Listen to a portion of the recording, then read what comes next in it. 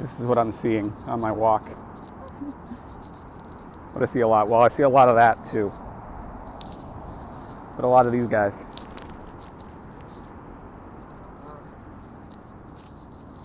Hey, want to be in a video? I know, I'm scaring him away. Sorry, dude.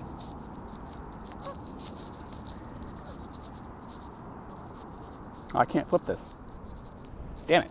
Um, I'm just gonna look at the camera then. Uh, so, Sunday, Sunday I did, um, I, I continued work on a really ridiculous project, which maybe I've talked about before, talked about, talking about? Maybe I've talked about it before, but um, iTunes. Uh, I love iTunes. It was the fir- very first uh, Apple program I ever used when I was a Mac user. Um, and so, despite all its problems, it continues to be a favorite of mine. And so, I, I want to use iTunes the way that they want me to use iTunes. I'm an Apple Music subscriber. Um, I was an iTunes Match subscriber before that. And um, the, uh, the thing that I realized is that uh, I don't think they want us to use Apple Music in the same way that they wanted us to use iTunes Match. iTunes Match did a flawless, once it was toward the end of its life, a flawless job of matching songs with songs in their library. Apple Music, not so much. Um, it's really particular, especially about um, rarer tracks. And what this, uh, what this is, how this has uh, revealed itself to me over time is that very often Apple Music does have the correct track.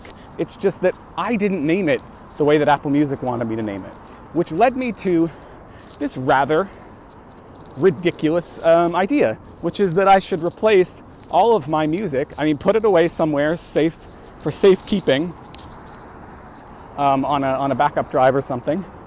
But then basically to replace all of my music that was that I had before I started buying stuff on iTunes and before I was an Apple Music subscriber, replace all of that stuff with Apple Music stuff. That's how they want me to use it. They want me to go in there. they want me to have their version of things, their canonical version of things.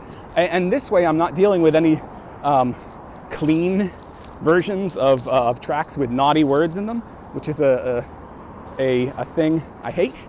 Um, and I'm not dealing with weird live versions when I want the studio version or, um, or uh, studio versions when I want the live version.